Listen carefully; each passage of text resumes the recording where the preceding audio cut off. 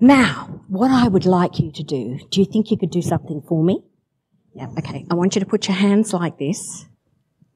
Okay. And I want you to put them up here. And I want you to carefully pull them down over here.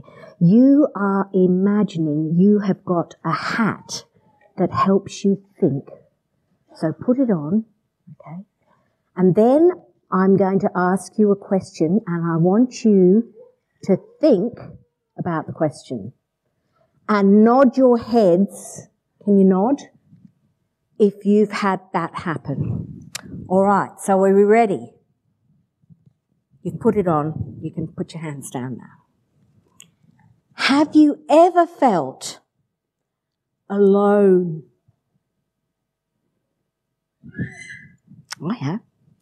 Have you ever felt really sad? Down in the dumps. Mum doesn't care, dad doesn't care, nobody likes me, nobody's listening to me. There's a lot of nodding going on over here. Well, I have another question.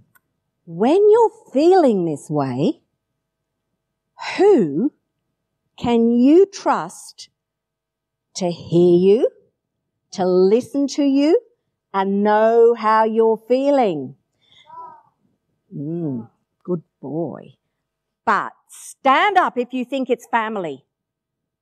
Stand up if you think your family knows how you're feeling, can listen to you and help you when you're sad. All right. Well, that's pretty good. You can sit down again now. But you know, family are not always with you. What happens if you're at school or at preschool or something and family's not there? And sometimes families are broken.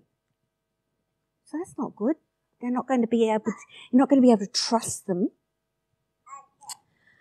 Stand up if you think maybe friends could help you. Oh, oh well, okay. Righto. Hang on a minute. Sometimes friends are not always with you, are they?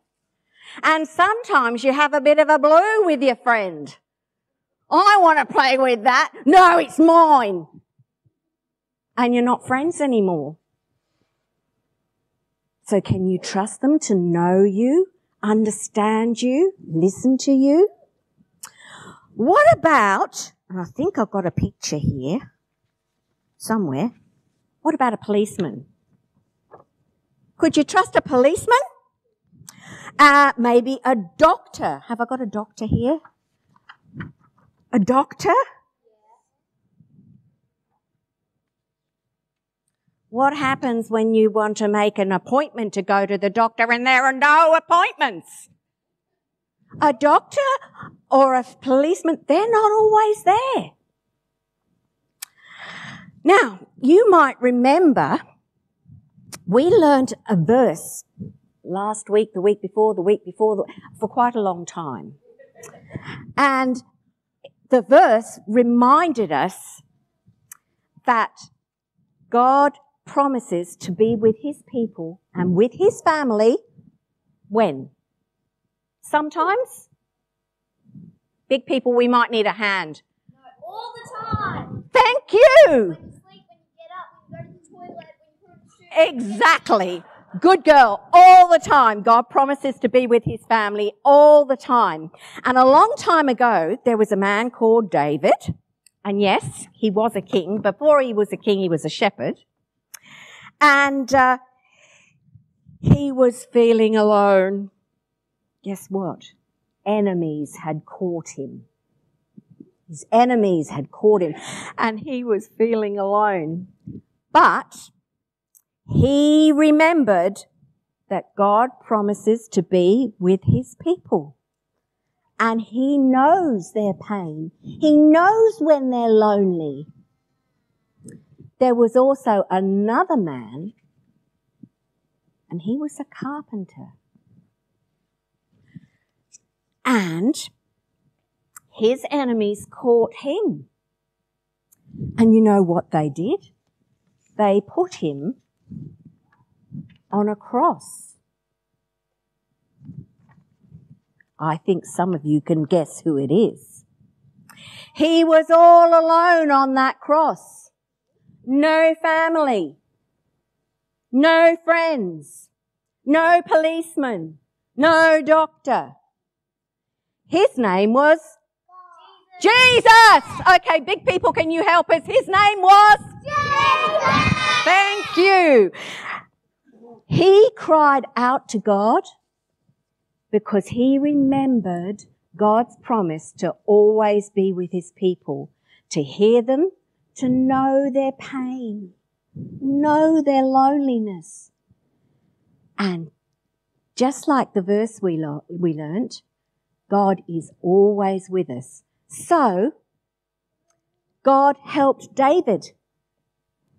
And God listened to Jesus and raised him from the dead. Wow! That's pretty good, isn't it? You don't look convinced. If God heard Jesus and raised him from being dead, is that good or what? That's amazing. Thank you. Incredible. So today, tomorrow, next week, next year, when you're sad, when you're struggling, when you feel like nobody cares, you can remember the promise of God and you can cry out to God just like he heard David and the Lord Jesus. He will help you and hear you. Let's pray. Dear God, help us to remember you are always with us and help us to cry out to you, to look to you and know that you will help us. Amen.